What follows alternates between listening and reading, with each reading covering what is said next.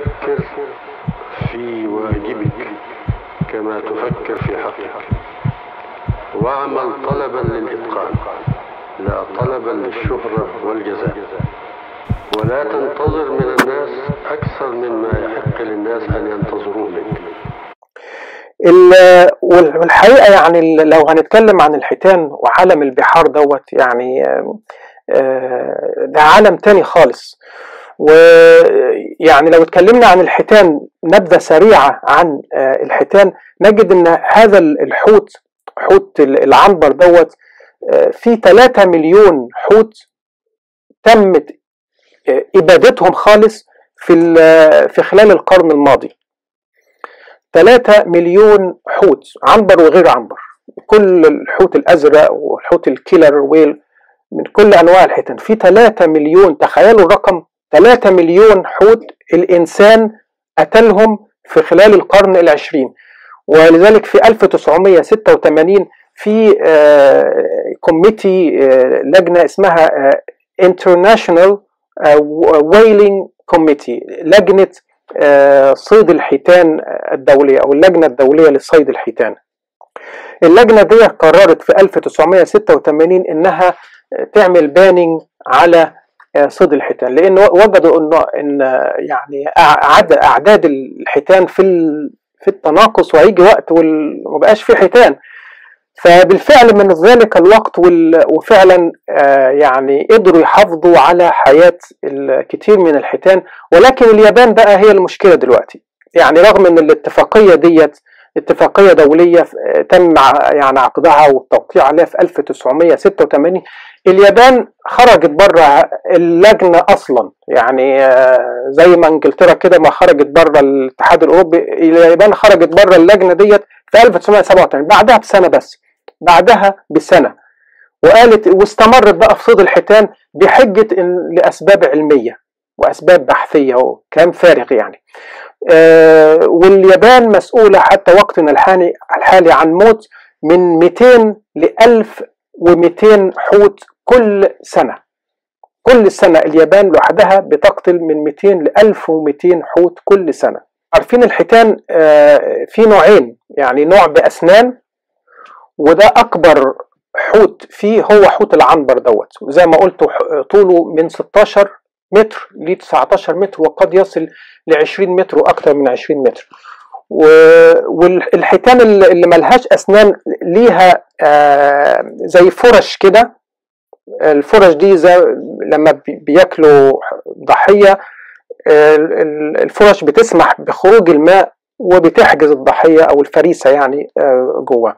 فبالنسبة للحيتان ذات الأسنان حوت العنبر ده أكبر وأضخم آه، حوت. إنما بالنسبة للحيتان بقى كلها بشكل عام اللي هو ليهم أسنان واللي ما لهمش أسنان مجرد ريش بس كده وفرشة الحوت الأزرق هو أضخم حوت وأضخم حيوان على مر التاريخ أضخم حيوان عرفه الإنسان. ووزنه بيوصل ل 22 طن يعني حوالي 441 ألف باوند رطل. وال- والطول بتاعه بيصل ل 25 متر. يعني ده أطول من السفينة ممكن يوصل ل 30 متر كمان. يعني حاجة آه، اللسان بتاعه اللسان وزنه تقريبا وزن فيل. يعني أنا هعرض لكم دلوقتي بعض الصور تشوفوا حجم ال- الحوت مقارنة مثلا بحجم الفيل وحجم السفينة وحجم الإنسان. الإنسان ده يعني كأنه عقلة إصبع كده جنب الحوت. وعلى حين إن حوت العنبر ممكن يعيش لغاية 70 سنة إلى إن الحوت الأزرق ممكن يعيش من 80 ل 90 سنة. ال- بيولد مرة من سنتين لثلاث سنوات. والبيبي بتاعه البيبي اللي هو الحوت الأزرق ده بيبقى طوله 8 متر ووزنه 6 طن.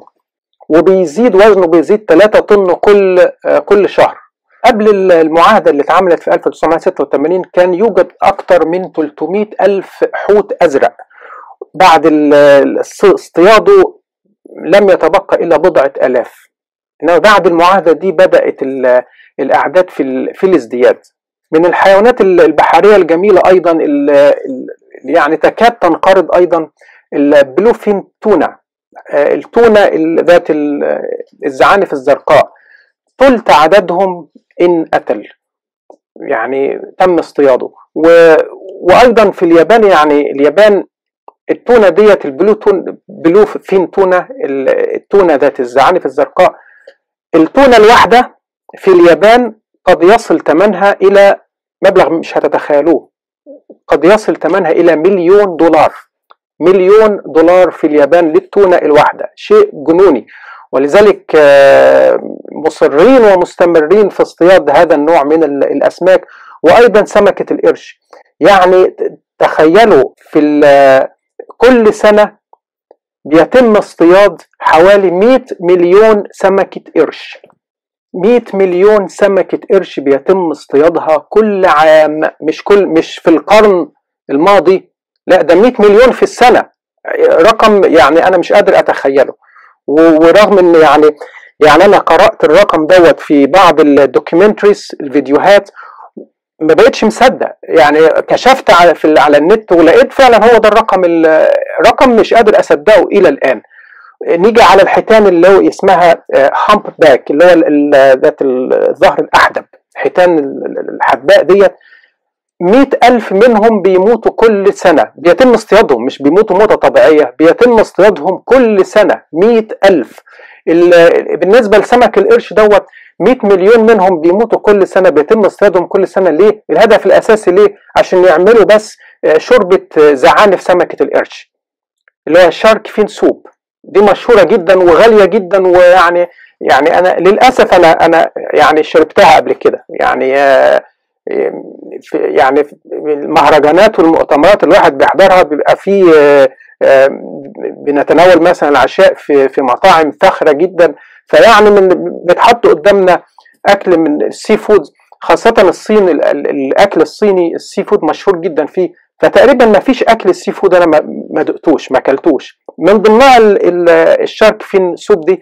إنما طبعا يعني وقتها الواحد ما كانش عنده الوعي الكافي.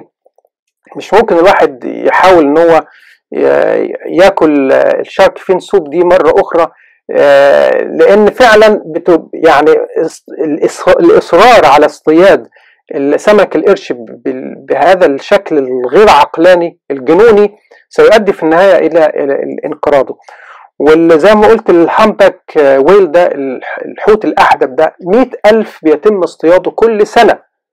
عدد يعني يعني مهول. طيب ليه ليه الحيوانات دي وليه ليه ال ال الحيتان دي وجودها مهم جدا؟ وجودها مهم جدا حتى لينا إحنا كبشر. مش مسألة إن إحنا ناكلها وخلاص لا. أو نستخرج منها زيوت أو كلام من ده. لا وجودها مهم للحياة على كوكب الأرض. حركة الحيتان ديت الحيتان دي شوفوا الحوت أكبر من السفينة في حجمه. حركة الحيتان دي داخل المحيط بتحرك العناصر الغذائية الموجودة في باطن المحيط. فالعناصر الغذائية دي بتخرج وبتطلع على سطح المحيط فبتتغذى عليها النباتات العالقة ديت أو اللي إحنا بنقول عليها أيضا طحالب ديت. اللي اسمها phytoplankton ال phytoplankton دي دي ذاتية التغذية بتتغذى على شعاع الشمس ولذلك هي بتنمو على سطح الماء أو قرب سطح المياه.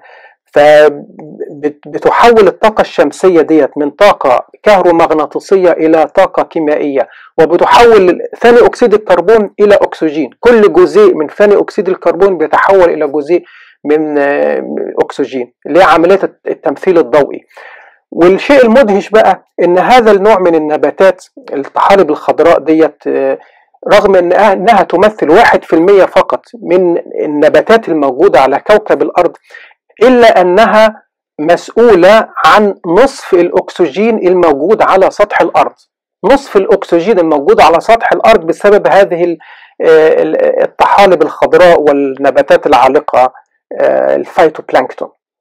فوجودها مهم جدا. إلى جانب إن وجودها هي تعتبر الغذاء الرئيسي لسمك ال krill.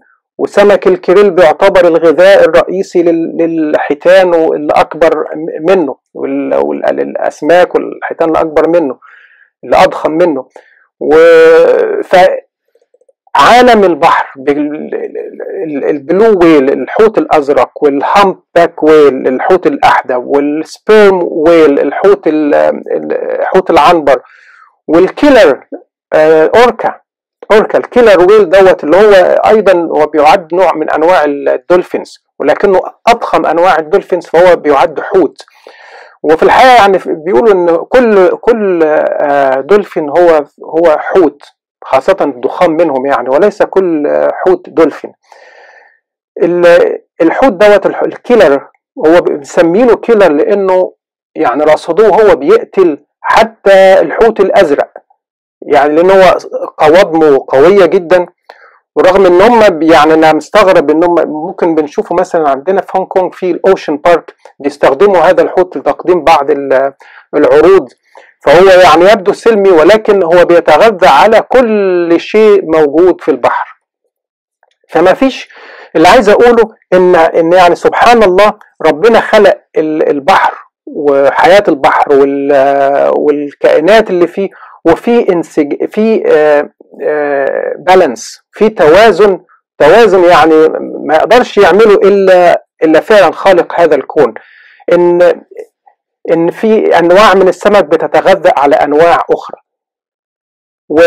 ونباتات معينة هي غذاء نوع معين من الأسماك. كل الدورة اللي فيها توازن دي هي اللي بتضمن استمرارية الحياة على كوكب الأرض مش على البحر فقط. لأن المحيط دوت ده مهم جدا لاستمرار الحياة على كوكب الأرض المحيط ده.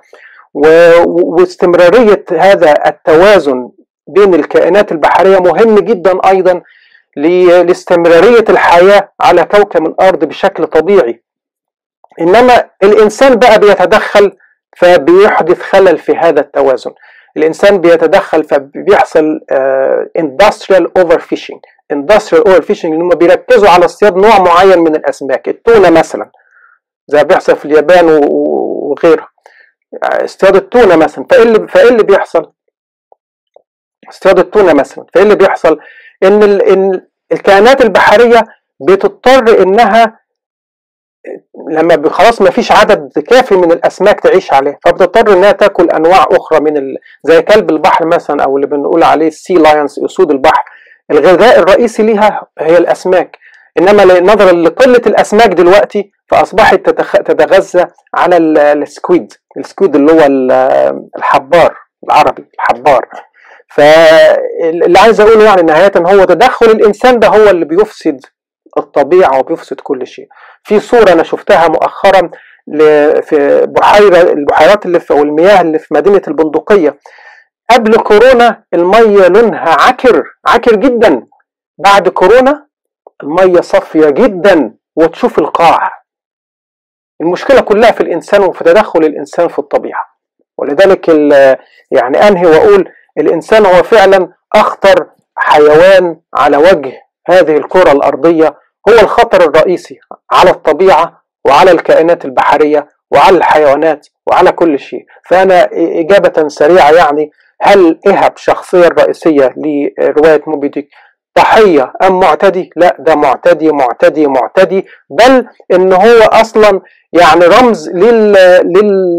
للحضارة الغربية في القرن التسعة عشر والإمبريالية الغربية هذه رحلة الصيد هذه ما هي أيضا إلا رمز لما تسمى الحضارة الغربية والإمبريالية الغربية في استكشافها واستعبادها للآخرين ومحاولة استعمارها لبلاد العالم الآخر.